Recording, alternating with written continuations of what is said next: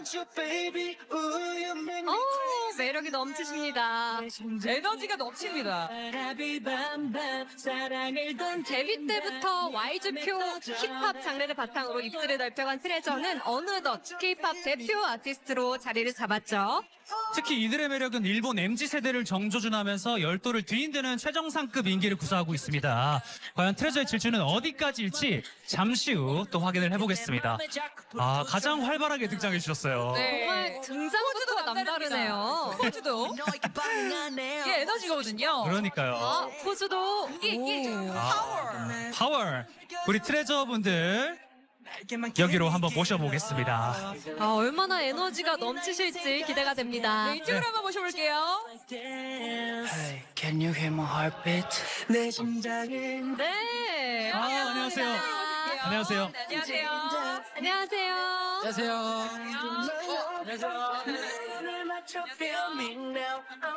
Baby. 야 트레저 분들 또 무대가 네. 꽉 찹니다. 이렇게. 저 정말 팬이거든요, 제가. 또. 네. 그럼 먼저 전 세계 팬분들께 인사 부탁드릴게요. 네, 인사드리겠습니다. Fire 트레저! 안녕하세요, 트레저입니다! 반갑습니다.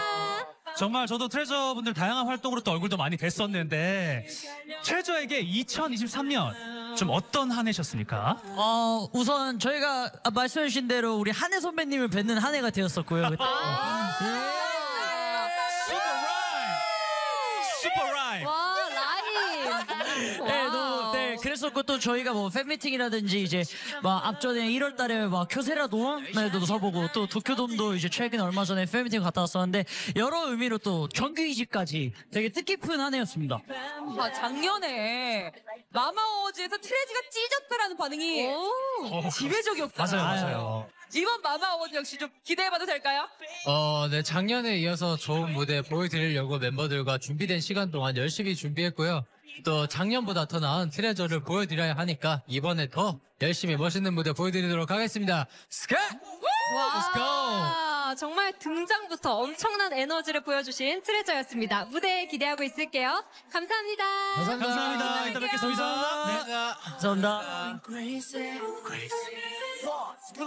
Let's go. 너를 볼 때면 난 계속 이